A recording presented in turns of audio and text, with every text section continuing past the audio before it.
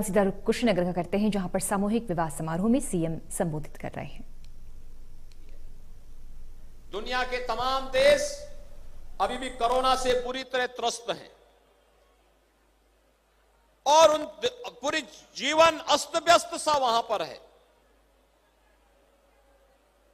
भारत के अंदर प्रधानमंत्री मोदी जी के नेतृत्व में भारत ने बहुत अच्छी सफलता प्राप्त की। अच्छा प्रबंधन किया। याद रखिए, जब कोरोना को दृष्टिगत रखते हुए लॉकडाउन जारी हुआ था, उस समय उत्तर प्रदेश सरकार पहली सरकार थी, जिसने गरीबों के लिए, मजदूरों के लिए, श्रमिकों के लिए भरण पोषण भत्ता जारी किया था और फ्री में राशन की व्यवस्था जारी की थी। भरण पोषण भत्ता चौवन लाख श्रमिकों को उत्तर प्रदेश सरकार ने कोरोना कालखंड में प्रदान किया था। और हम सब आभारी हैं प्रधानमंत्री मोदी जी के। कोरोना महामारी का सामना करने के लिए दुनिया में ज़्यादा संपन्न देश होंगे, लेकिन फ्री में टेस्ट, फ्री में उपचार, फ्री में अन्न योजना का लाभ और फ्री में वैक्सीन। यह भी केवल और केवल भारत के अंदर प्राप्त हो रहा है। वैक्सीन। कितने लोगों ने वैक्सीन लगाया है? हाथ खड़ा करो थोड़ा। वैक्सीन लगाने वाले सभी लोग।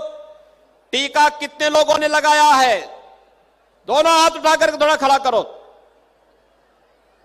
आप सबने लगाया है। जो लोग बचे हैं, वे कोरोना का वैक्सीन ज़रूर लगा लें। फ्री में वैक्सीन है। सबको वैक्सीन, फ्री में वैक्सीन। ये प्रधानमंत्री मोदी जी ने दिया है और भारत अब 125 करोड़ लोगों को अब तक वैक्सीन देने में सफल हुआ है और उत्तर प्रदेश आज 16 करोड़ लोगों को वैक्सीन दे चुका है। यानी यह टीका हम अब तक 16 करोड़ लोगों को उत्तर प्रदेश में दे चुके हैं। यह एक निरंतर किया जाने वाला प्रयास है। अन्न योजना भी हर गरीब को वह दीपावली से होली तक भी बढ़ा दिया गया। हर महीने दो दो बार फ्री में राशन मिलेगा।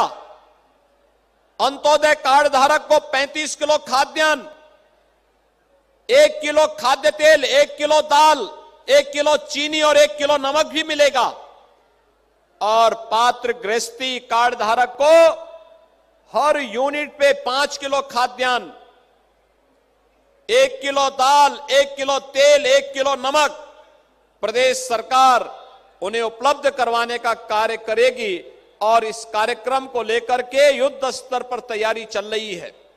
और आज तो हमारे श्रमिक भाइयों के लिए, नौकरी पेशा करने वाले लोगों के लिए सरकार ने एक और योजना चलाई है, केंद्र सरकार ने national portability system.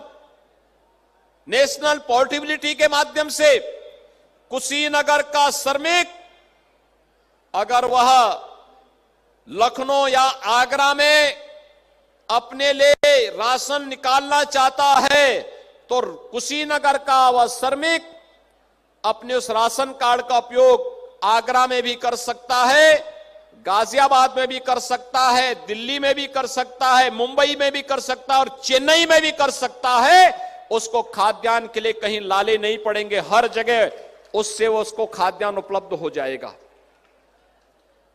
ये सभी इसलिए क्योंकि हमें मालूम है, हमारा ये श्रमिक ही राष्ट्र का निर्माता है। इसके श्रम में इसके परिश्रम में, इसके पुरुषार्थ में राष्ट्र की न्यू है। ये जितना मज़बूत होगा, देश उतना ही मज़बूत होगा।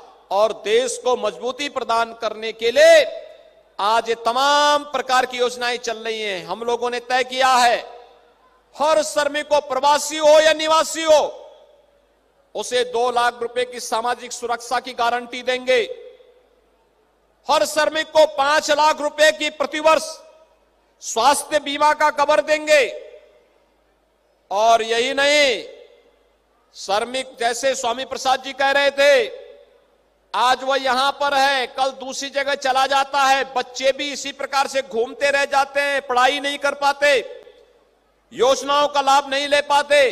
और इसलिए सरकार ने तय किया है, हम श्रमिकों के बच्चों के लिए आवासीय विद्यालय बनाएँगे, अत्याधुनिक सुविधाओं से युक्त आवासीय विद्यालय, और इन आवासीय विद्यालयों में इन श्रमिकों के बच्चों को उच्च शिक्षा प्रदान करेंगे, और उन्हें भी देश के महत्वपूर्ण पदों पर जाने का भरपूर अवसर उपलब्ध करवाने का कार्य किया जाएगा।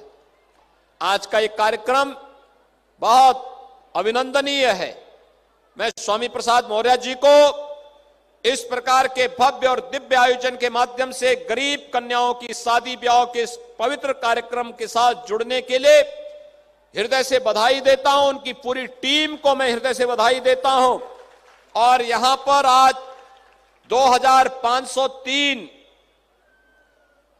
वर और वधु के सामूहिक शादी ब्याह के वैवाहिक बंधन के इस कार्यक्रम के अवसर पर आप सबके प्रति अपनी शुभकामनाएँ देता हूँ। कोटि कोटि बधाई भी देता हूँ। अभी तीन दिन पहले हम लोग अयोध्या में थे। अयोध्या में तीन हज़ार नौ सौ पंद्रह जोड़े शादी के वहाँ संपन्न हुए थे। कोई भेद नहीं। जिसने रजिस्ट्रेशन करा दिया, उसको सुविधा उपलब्ध करवाने की कार्रवाई प्रशासन ने की है। और इससे बड़ा सौभाग्य क्या हो सकता है? कन्या की शादी हो मंत्री, विधायक, सांसद, सभी चेयरमैन, ब्लॉक प्रमुख, प्रशासन, मुख्यमंत्री, ये सभी आपके साथ में यहाँ पर खड़े हों। इससे बड़ा भव्य आयोजन दूसरा नहीं हो सकता। आज के इस अवसर पर एक बार फिर से मैं आप सबको हृदय से बधाई देता हूँ, अपनी शुभकामनाएँ देता हूँ। कुशीनगर के लिए एक उपलब्धि है, क्योंकि शादी ब्याह कुशीनगर, गोरखपुर, महाराजगंज, देवरिया, इन चारों जनपदों से बर और वधु पक्ष है। लेकिन कुशीनगर के लिए इसलिए अभी कुछ दिन पहले कुशीनगर में प्रधानमंत्री मोदी जी आए थे। और मोदी जी ने यहाँ के इंटरनेशनल एयरपोर्ट का उद्घाटन किया था। इंटरनेशनल एयरपोर्ट में वायु सेवा भी प्रारंभ हो चुकी है। और भाइयों बहनों, एक मेडिकल कॉलेज भी कुशीनगर में बनने जा रहा है। मेडिकल कॉलेज, ये मेडिकल कॉलेज भी कुशीनगर की शान का प्रतीक होगा। इस मेडिकल कॉलेज के माध्यम से विशेषज्ञ स्वास्थ्य सुविधाएँ यहाँ के लोगों को प्राप्त होंगी। विकास उतनी ही मजबूती के साथ आगे बढ़ता हुआ दिखाई दे रहा है। और आज का यह कार्यक्रम उसी खुशहाली का एक प्रतीक है। मैं आज के इस अवसर पर मैंने देखा, बहुत अच्छा लगा मुझे कि हर बर और बधु इस सामूहिक विवाह के कार्यक्रम में आने के पहले के साथ ही वह मास्क लगा करके चला है। वास्तव में कोरोना फिर से दुनिया के तमाम देशों में कहर ढा रहा है। बहुत तेज़ी के साथ फैला है। एक ब्रेक के लिए रुक रहे हैं। खबरों का सिलसिला लगातार जारी है।